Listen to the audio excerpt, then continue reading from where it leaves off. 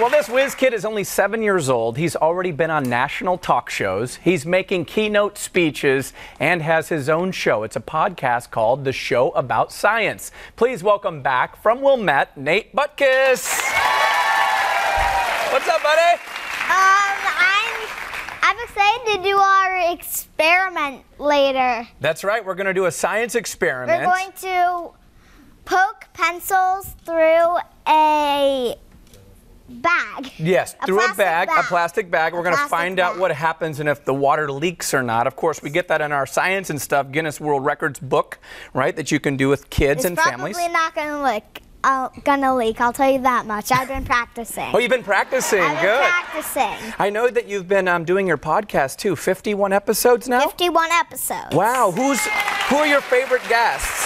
So my favorite guests are Mikey Bustos from Ants Canada, who I interviewed on my Ant episode. Mm-hmm. Coyote Peterson, who I got to interview on my episode about Brave Wilderness, his YouTube channel, and um, I got to interview.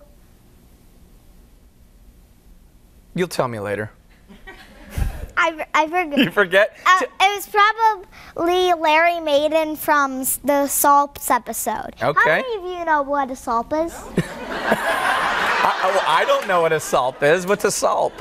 um, a Salp is a marine dwelling creature that has an eye in the middle of its back. Hmm. Is this a real life creature? Yes. wow. Yes, it is. Have you seen one of these creatures? Um, I've seen pictures of them. You've seen pictures I've of seen them. pictures of I them. got you. All right, well, let's get to our experiment. What do you say? Yeah. All right, let's do it. Come on over here. So you kind of told us all you need is a pencil, right? All you need is a pencil and a bag. And a bag of water or liquid. So we put Yeah. some we put some food coloring in there to get us more colorful. All right, I'm going to hold this for you. All right, now what are we going to try to do with this? So we're going to take this pencil Okay. and Uh-oh. oh, that how'd that happen? okay. So, anyways, as you s- saw, it barely leaked. All right, right. Barely. Um, Could I show you how, what's easier? It's, it's Sure. It's easier with duller pencils. Dollar pencils, why is that?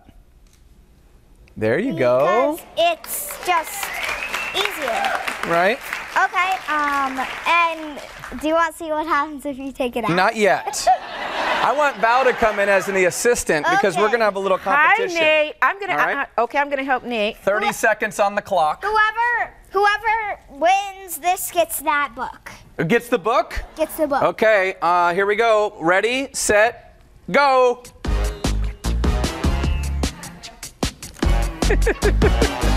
You got this, Nate. Now, how come it doesn't leak, Nate?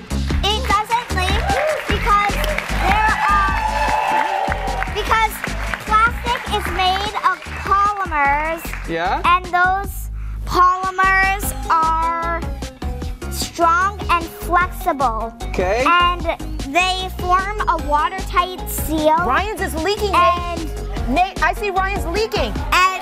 And Mine's leaking? Yeah, look at those two drops on the. I think I think Nate won. Yeah! You're our winner. okay, The winner. Oh, not no. I pulled it out. Oh, oh Nate. It's fun pulling them Nice out. job, buddy. Real smooth. I like that. well,